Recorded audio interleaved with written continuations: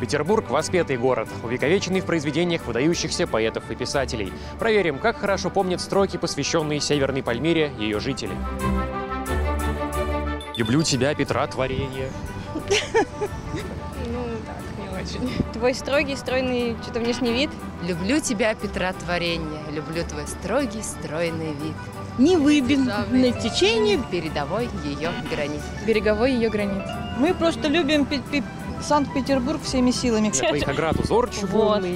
А вы посмотрели, так Да, нечестно. конечно. Да, я в комнате своей сижу, читаю без лампады. Ой,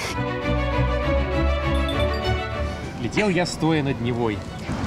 Да, я, я понимаю. Глядел я, стоя над Невой, Как Исаака Великана.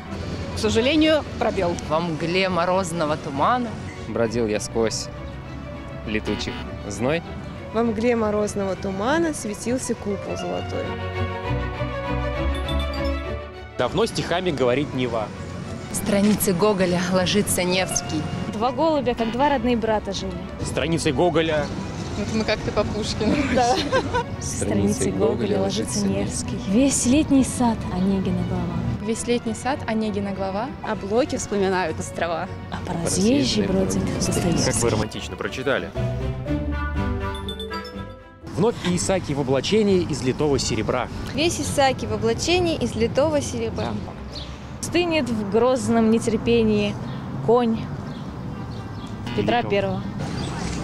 Медный всадник. Стынет в грозном нетерпении конь великого Петра.